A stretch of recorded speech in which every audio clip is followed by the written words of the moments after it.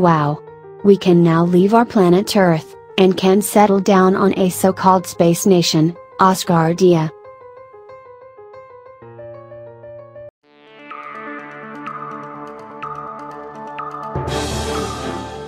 Over half a million people want to become citizens of Asgardia, a so-called space nation that will orbit the Earth and be free from politics and laws.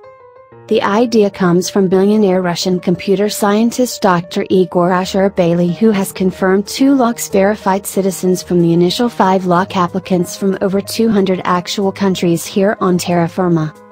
He founded the independent nation in October 2016, and took it a step closer to reality this week by launching the Asgardia 1 satellite. Roughly the size of a loaf of bread, it contains the personal details of 18,000 Asgardia's citizens, including things like family photographs. There's also a copy of Asgardia's flag, coat of arms and constitution aboard.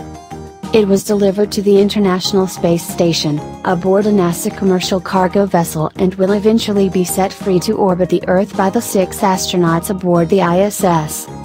The satellite will remain in orbit for between 5 and 18 months, after which it will likely burn up and disappear.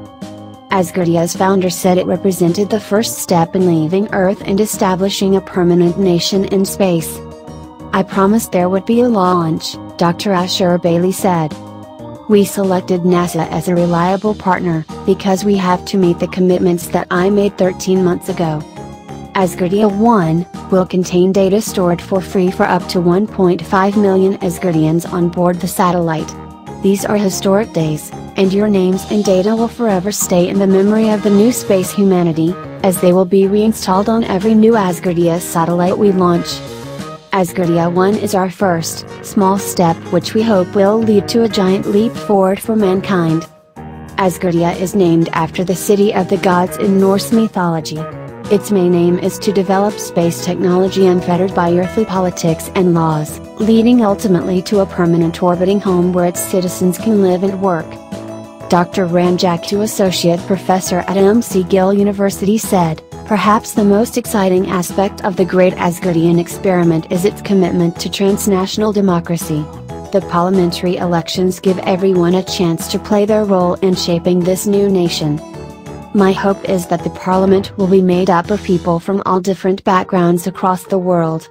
Together, they will be the engine that drives Asgardia forward into the next space age. People can apply online to be Asgardian citizens via the website www.asgardia.space. What's your take on this? Do share your views via comment section below. And like always do not forget to like and share this video and subscribe the channel, I will be back shortly with another news. Till then have a great time ahead, bye bye.